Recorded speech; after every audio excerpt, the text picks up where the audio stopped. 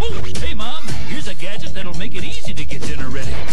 Car keys. Drive to KFC and get 10 pieces of the Colonel's chicken, large mashed potatoes and gravy, large coleslaw, and four biscuits. All just